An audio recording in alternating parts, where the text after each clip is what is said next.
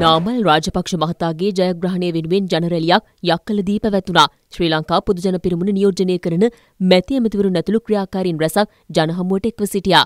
දමලා ගිය උන්ට මරවුන ගැනෙන්නට ළඟ එන ඡන්දේ ජය පිට ජය ලබන්නට අත් පොලසමක් දෙමු කන් අඩි පැලෙන්නට. සුද්දගේ ඉංග්‍රීසි කොඩිය පාත දාලා සිංහ කොඩිය උස්සපු වාර්යපොළ සුමංගල හාමුදුරුවන්ගේ පරම්පරාවේ අපි කුඩාපොළ හාමුදුරුවන්ගේ පරම්පරාවේ අපි මේ යුද්ධය නැති කරපු ජාතියට පණ දුන්නා ආදරණීය මහින්ද රාජපක්ෂව දාලා යන්න අපි සූදානම් නැයි කියන කාරණාව පැහැදිලිව කිව්වා. එතුමා ආරක්ෂා කළ ජාතිය තව දුරටත් රැගෙන යන්න පුළුවන් ආරක්ෂා කරන්න පුළුවන් නායකයා තමයි නාමල් රාජපක්ෂ කියලා කියන්නේ. පෝරාදලා අපිට ඇරපු අනුරපුරේ පප්පලා මුට්ටි දාලා කොවිඩ් වලට රත්නපුරේ අක්කලා සල්ලි වලට ගෙම්බෝ පනින අපේ හිටිය ගොයියලා හක්කේ තියලා සෙම අරීවි අලි චන්දය පව්වෙලා ජනතා විමුක්ති පෙරමුණ හරි දක්ෂයි පද හදන්න. කතා හදන්න. පෝට් සිටි එක හදන්න සීගිරිගල කඩලත් මදි කිව්වා. නාමල් රාජපක්ෂ ඇදා ගිය ලැම්බෝගිනි වල කියලා කිව්වා. මේ ගෙවල් වල බැඳලා තියෙන්නේ රත්තරන් අස්සයෝ කියලා කිව්වා ආමුදුරනේ. හම්බුන්නේ නැහැ මොකුත්. දැන් මන් දන්නවා මේ වගේ රැස්වීමක් තිබ්බහම ඔය JVP එකේ බඩු කෑලි දෙක තුනක් අහන් ඉන්නව ඇවිල්ලා. එනිසා උන්ට දැනගන්න දැනෙන්න හිරි වැටෙන්න කියන්නේ. හැබැයි මතක තියාගනින්න ජෙප්පෝ සියලු දෙනාට කියන්නේ උඹලා මේ අලකලංචිය කරලා රටට කෙලෝපු දාට අපිට ගිනි තියන්න අවුරුදු දෙකක් ගියා. උඹලාගේ ගිනි පෙලෙල්ල පත්තු වෙන්න පෑ දෙක තුනකට වැඩිය යන්නේ නැහැ. මතක තියාගන්න රට කඩන්න හදන උන්ට අපි ශ්‍රී ලංකා පොදු ජන පෙරමුණෙන් පාඩමක් උගන්වනවා කියන එක ඔබ තමුන්නාන්සලට කියනවා. අපේ සැට් එකක් ගිහිල්ලා තියෙනවා හාමුදුරනේ රනිල් මහත්තයා නැගිටවන්න. උතන ඉන්නවා නියම බඩු ටිකක් අන්දන්න. අපේ ගම්පා හිටපු ලොක්කත් ඇන්දිල්ලට සුපිරි බඩ. අපේ ගොඩේ හිටපු ගොඩක් අය තමයි ගෝඨාභය මහත්තයාවත් ඇන්දුවේ. ඒ අන්දපු බඩු සෙට් එකම දැන් එතන.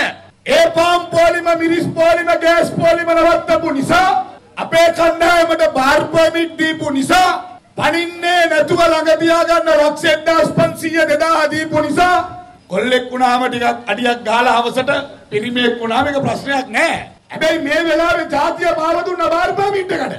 බාර් පර්මිට් එක නිසා එකයි ලක්ෂ 1500 නිසා දෙකයි තව එකෙක් මොකක් හරි උදව් කරපු නිසා ප්‍රසන්න රණතුංග තුනයි ගමක හතක් හිටිය නම් තුනක් ගිහිල්ලා හතරක් ඉතුරුලා නැද්ද හතට හතරයි කියන්නේ 70ට 40යි 70න් 30ක් ගියත් ලක්ෂ 40යි මේ වෙනකොටත් ලක්ෂ 40 බන්නපු ජයග්‍රාහී අපේක්ෂකයා නාමල් රාජපක්ෂ බව ඔබ බයරතෝ ගිහිල්ලා කතා කරන්න.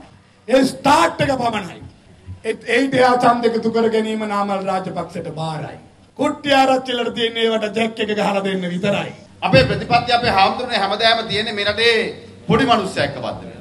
අපේ සංස්කෘතියත් එක්ක බද්ධ වෙලා. IMF එකයි ලෝක බැංකුවයි ආසියානු සංවර්ධන බැංකුවයි සතුටු කරනවා වගේම මේ රටේ ග්‍රාමීය දෙමව්පියන්ව දරුවන්ව සතුටු කිරීමේ වගකීමත් ආණ්ඩුවකට තියෙනවා. අසීමිත බදු තුල සාමාන්‍ය පුරවැසියන සාධාරණයක් වෙන්නේ නැහැ ව්‍යාපාරිකයට සාධාරණයක් වෙන්නේ නැහැ. එහෙනම් මිනිස්සුන්ට දරන්න පුළුවන් බද්දක් අපි ගහනවා. එහෙනම් අපි පැහැදිලිව මිනිස්සුන්ට දරා ගන්න පුළුවන් බදු ප්‍රතිපත්තියක් අපි ක්‍රියාත්මක කරනවා. සහ ප්‍රතිපත්ති අපි වෙනස් කරන්නේ නැහැ කාලෙන් කාලේ. දැන් අපි දැක්ක පහුගිය කාලේ මැතිවරණේ ලඟ වෙනකොට කැබිනට් පත්‍ර දානවා 20 25 ඉඳන් පඩි වැඩි කරන්න. පහුගිය කාලේ කිව්වේ සල්ලි නැහැ කියලා. හැබැයි දැන් ඡන්දේ ලඟ වෙනකොට සල්ලි හම්බෙලා. ඇයි අපි රවට්ටන්නේ? ඇයි අපි මැතිවරණ කේන්ද්‍ර කරගත් වැඩපිළිවෙලකට පමණක් ආණ්ඩු පරිවර්තනය වෙලා තියෙන්නේ? මහින්ද රාජපක්ෂ ජනාධිපතිතුමා මේ රටේ සංවර්ධනය නවත්තපු තැන ඉඳන් ඉදිරියට අරගෙන යන්න සැප්තැම්බර් මාසයේ 22 වෙනි ඉඳන් අපි ආරම්භ කරනවා කියන එකත් අපි ඔබ තමුන්නාසෙන් තාමත් ගෞරවයෙන් මතක් කරනවා. සමහර නායකයන්ගේ ප්‍රතිපත්ති පිටින් ගෙනලා කන්න දෙන එක. ඒ හිතනවා ඒක ලාභයි ලංකාවේ වවනවට වඩා. නෑ. අපි මේ රටට ද්‍රෝහී කරන දේශපාලනයක් කරන්නේ නෑ. අපි මේ රට ආරක්ෂා කරපු අය. ඉදිරියටත් ආරක්ෂා කරන අය. ඒ වගේම අපි වගකීමකින් කියනවා මගේ ආදරේ අම්මේ තාත්තේ මේ රට නැවත වතාවක් ආසියාවේ සංවර්ධන රට බවට පරිවර්තනය කිරීමේ වැඩපිළිවෙල අපි ආරම්භ කරනවා කියන එක මතක් කරමින් Thank you.